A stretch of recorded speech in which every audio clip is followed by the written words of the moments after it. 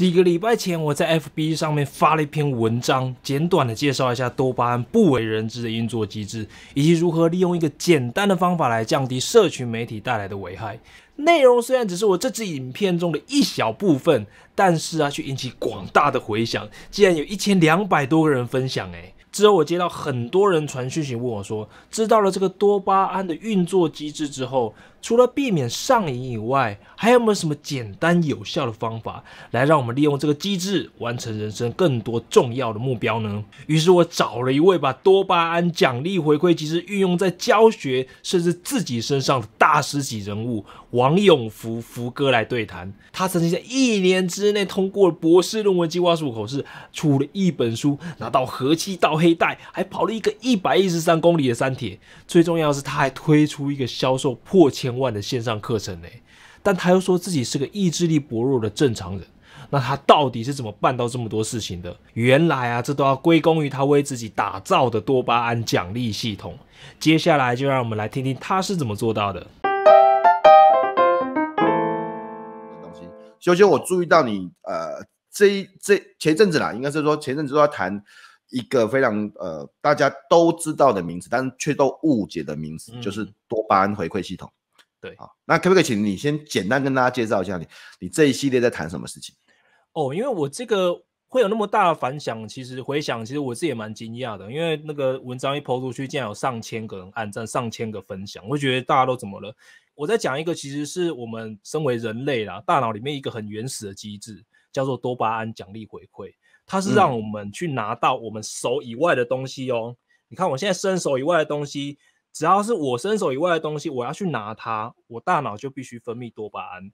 嗯，曾经有个实验很很有趣哦，就那些科学家很喜欢用老鼠做实验，他把大脑里面那些那个那个老鼠大脑里面多巴胺的那个回馈那个系统破坏掉，弄掉之后，就算它肚子很饿，有一个食物在它前面，它不会去动它，因为它要移动它的身体去动它，这个动作就是要有有多巴胺的分泌。他就没有动机嘛？我记得那个老鼠，他就不会，他就他就根本连想想去做都不想去做这样子。对，而且而且有趣的是，那个老鼠不是没有食，不是说它没有办法感知到食物哦。那个喂糖水给它，那个老鼠还会笑，它还会，它还是会觉得食物是美味的，美味的。但是它就不想去拿，它就没有动机去拿。所以我们的多巴胺其实掌管我们的动机哦。那还有一个在。前几年出了一本书，我觉得写超级好，叫《The 那个 The The Molecule of More》，就在中国大陆那边翻译成“贪婪的多巴胺”，其实就把这件事情讲得很清楚。多巴胺系统是贪婪的，它永远不会满足，满足了是血清素那那一个区域。那多巴胺这个就它就是要你一直不断的去追求更多的东西，更多的食物，更多的成就。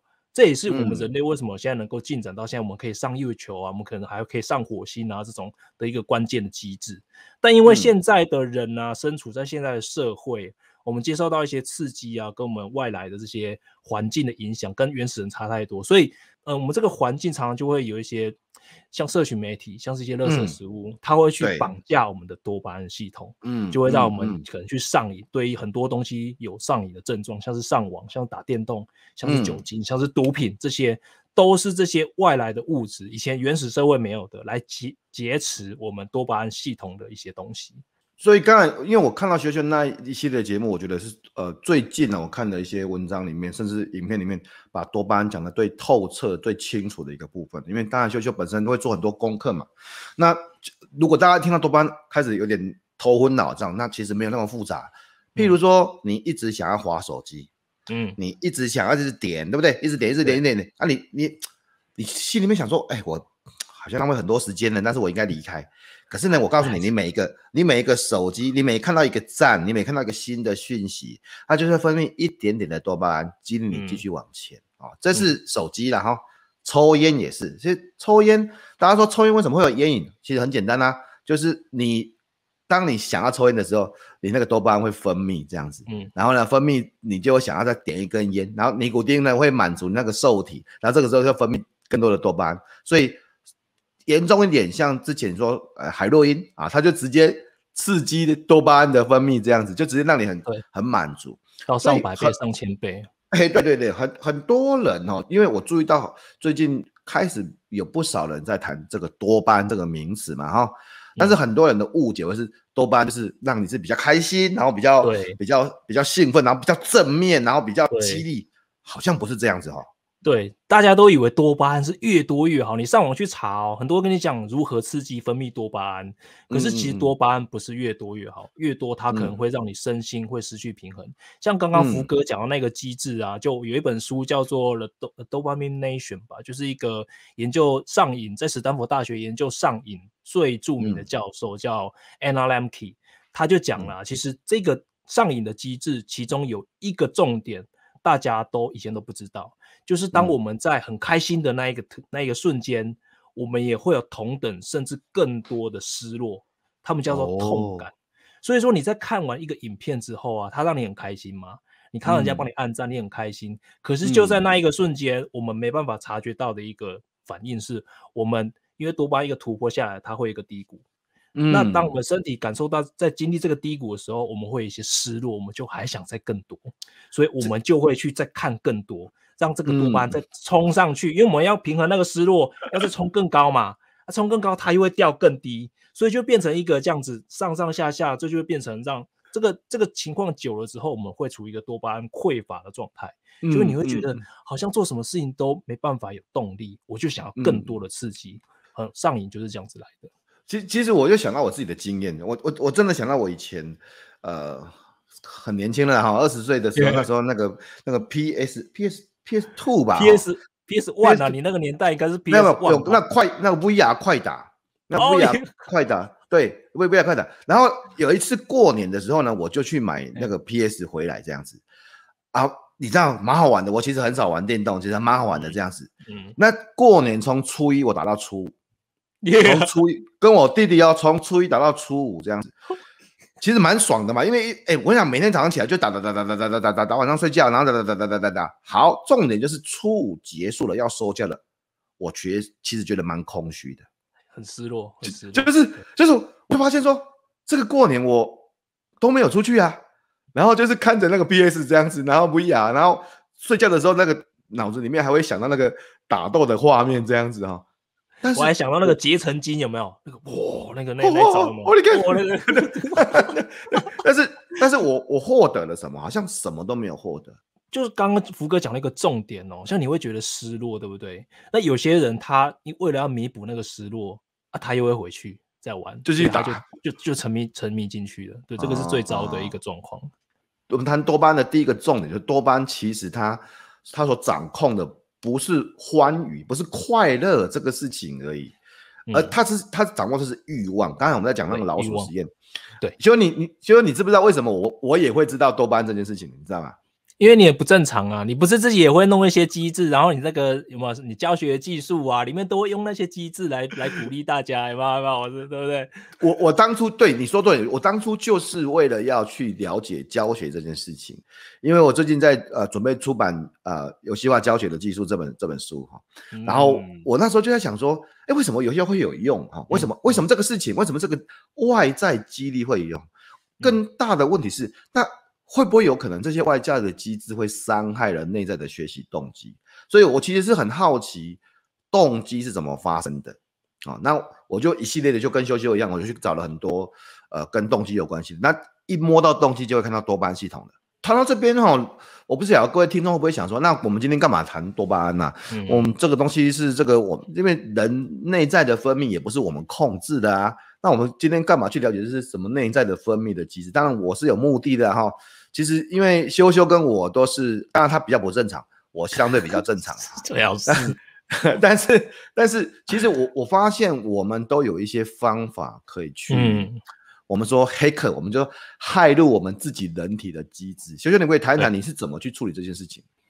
诶，如果说是以动机系统的话，哦，其实我们当然在人生当中，哦，都想很多大大小小的目标要去追求。像我们可能要更好的工作啊，我们要有更健康的身体啊。我们现在练马拉松，对不对？想要让自己能够更更健康，身心更健康，更有成就，赚更多钱。可是通常那一些我们，所以我们每年都会在一年初就设那个嘛，新年新希望，新年新目标。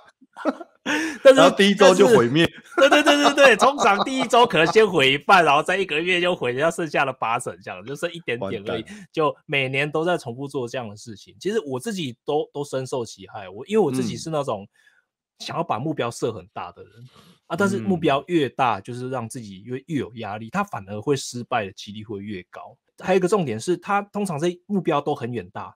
我现在在做这件事情呢，我们在每天出去跑步。跟我能够获得波士顿马拉松的资格，那差很远，很难去让我现在做的事情能够跟他这个目标能连在一起。对，因为我们大脑其实绝大部分都还是原始脑，原始脑就它没办法想太远，我们是要靠前额叶皮质才能够去做长远的计划，去做理性的逻辑分析。但是我们大部分的时候还是被这个原始脑控制，所以就变成说，哦，我现在做一做就会很懒，因为我看不到我现在做的事情。跟之前那一个远大目标有什么关联？对，所以有几个简单的事情嘛，就是第一个，你要把你的目标不要定太远，因为定太远，你你自己的大脑会跟你讲说啊，办不到，放弃算了。因为我们在做这些跑步是什么，其实很累啊，谁弄弄弄不正常，每天早上要早起去跑步。再就是说，我们要把这些目标划分成几个几个小微小的目标，可以让我们去随时可以去觉得说，哎，我们真的有进展，然后可能还会在我像我用 Notion。来记自己的一些东西的进度嘛，就把它弄成什么进度条啊，然后百分比啊，说哦，我现在已经做了，呃，我像我今天早上如果说我多做四小时的的番茄钟的工作的话，我就把它记录起来，然后就会写进度条就往前说，哎，我我已经达到我这个这周的一些工作时数的目标了，就是这些种种的机制来让我自己可以意识到我正在朝这条路前进，而且知道我现在的状态。这样，其实这都是都是一些有帮助，当然还有说，哎，达到一些目标的时候，给自己一些奖励啊，这些全部都是。那福哥应该很多方法吧，对不对？其其实其实我喜欢或特别安排我跟秀秀来谈这个事情，就是因为我们都会做一些跟这方面有关的事情嘛。就是你知道人的机制，那是我们没办法控制的，但是我们。一旦了解这个机制之后呢，嗯，你就可以去设计一些方法，反正你就可以顺应自己的机制啊。像我举个例子，刚才就在讲这个跑步这个事情，像我自己也有在跑步嘛。第一件事情就是你自己本身要让这个东西是可以测量的，它要有一个指标可以出现。譬如说跑步啊，对啊，我们就跑步，每天都去跑步。可是跑步代表什么？什么都没代表啊，我就是跑步，然后累得要死，然后流汗，然后很喘这样子。那你跑步的时间呢？你是不是有时间？你跑步的心跳呢？你跑步的速度呢？你看，我们现在开始把这个跑步这件事情加上一些指标了哦。哦，你意思当然你不用自己用手表记嘛，你就不是有那个你的这个运动手表吗？不管是 Garmin 啊或者 Apple Watch 啊，我觉得都很棒啊。然后它自己就会帮你记录了，你就把你这个运动转换成可以衡量的指标了。哎，接下来就有意思了哦。譬如说，我可能像我跑步都很烂的，当然跟修修没得比。像这个 之前，之前修修还跟我比那个 三节，比你快一小时，这样跑步竟然比我快快一小时，快快翻脸，真的是好，没有那没有关系。那我那我我不用跟别人比啊，我可以跟自己比吧，我总是可以跟自己比吧。所以我的意思就是，像不像我今我大概这一季都在练习跑步，那我本来可能。也许五公里啊，对我来讲小目标，五公里，也许我可能要跑三十五分钟啊，那很慢啊，七五三十五七分数嘛。那也许哎，我看到最近，哎，我进到三十分钟以内了哦，我进到二十九分钟了哦，哎，我自己看到我的时间进步了，这是一个哦。你看同样的里程，我时间进步了。第二个是，哎，我的心跳下降了呢，我的心跳已经不像以前那么高了呢。我每次都可以看到我的心跳。你看，我把一个很大的目标，也许是我可能啊。铁人三项可能跑步希望破两小时半马这样子，但是那我把这么一个大的目标变成我五公里的速度要突破，比如说三十分钟、二十九分钟，甚至我的心跳应该降到一百六十以下啊。假设是这样子，那我就可以每次去衡量我的样子啦。这个时候就每一次我都可以看到我是不是有进步，或是我的状态怎么样。而这个进步跟状态就是一个回馈，没错。所以对多半就是一个回，我们必须要。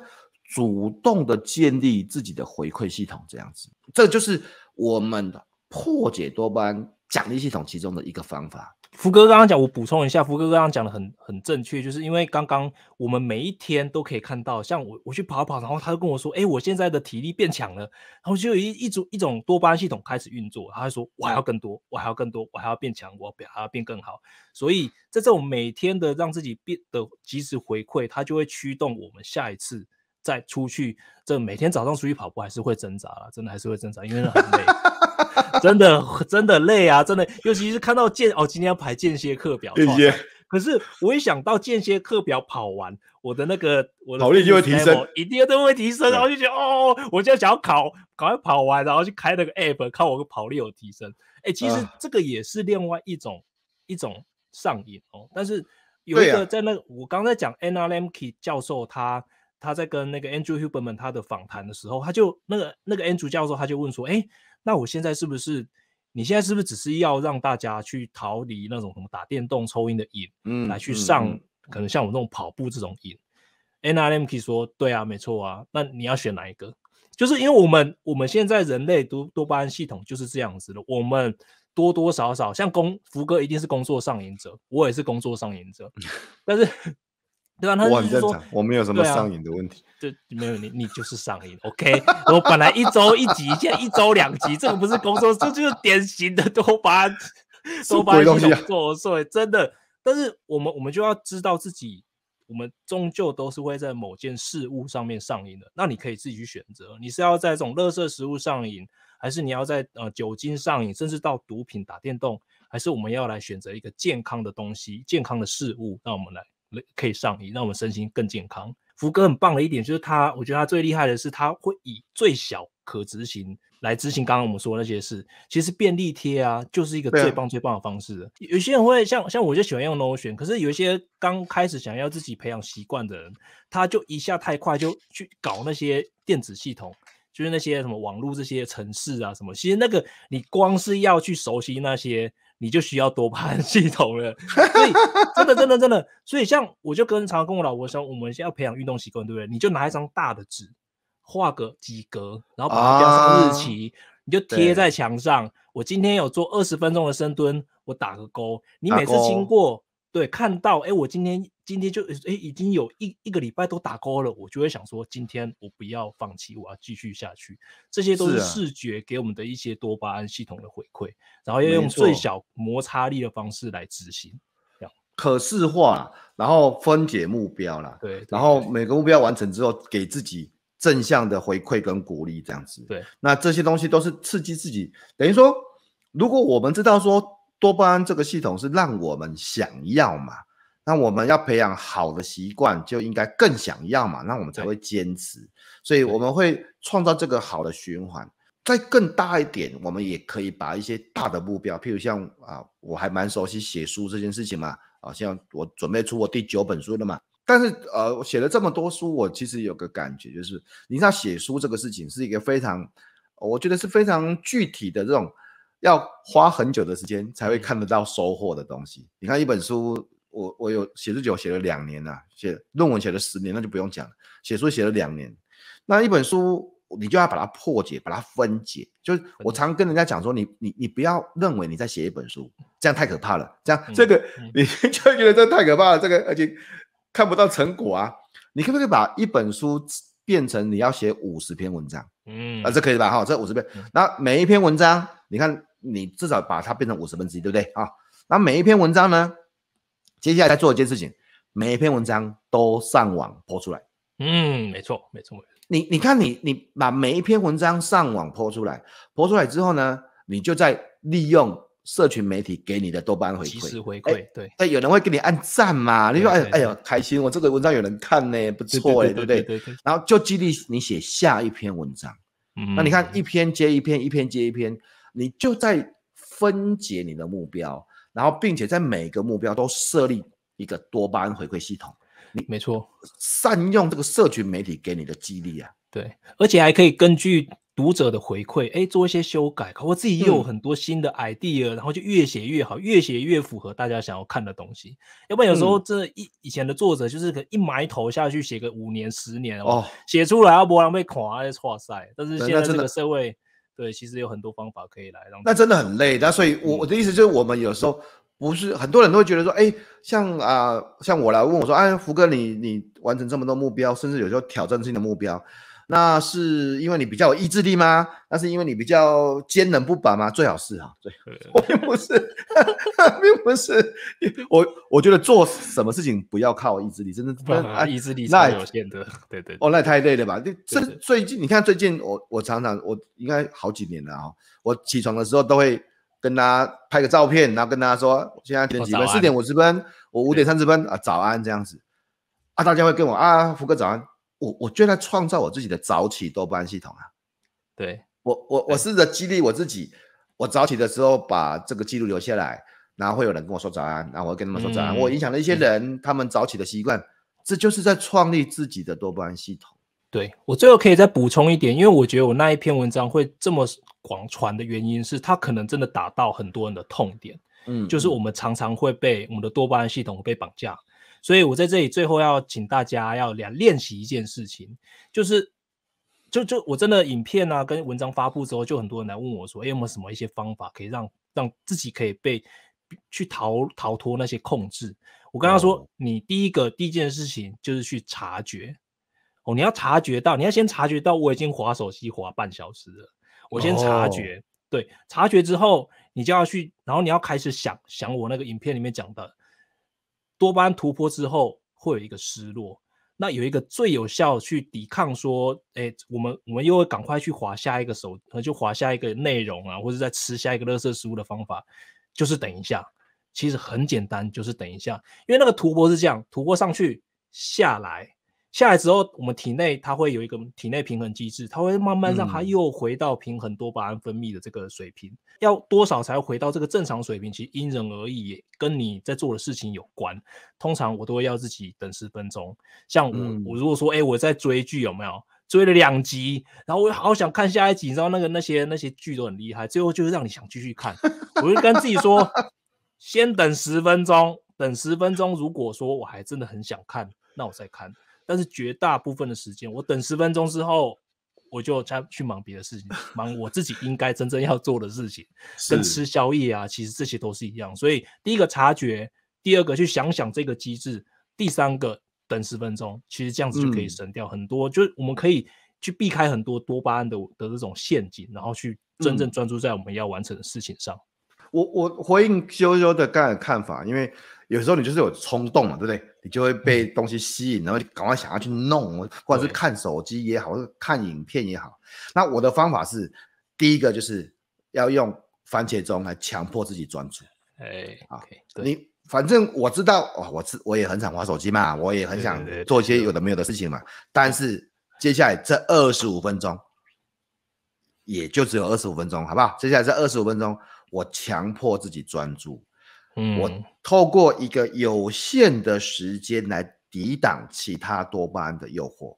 第二个是那移除不必要的干扰。哎，太重要了。对对对，移除的意思就是你干嘛？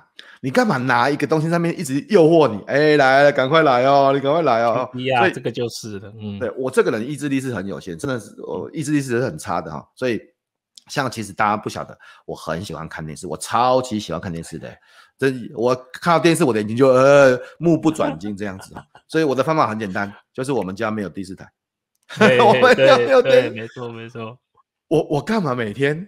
你知道我每次有时候去出差啊，我出差去去饭店啊，就会有第四台，然后呢，我就会很忍不住。我跟你讲哦，这十点半哦，已经 晚上已经很累了哦，然后那边转，然后遥控器，对对对对对对，然后躺在床上哦，好爽啊！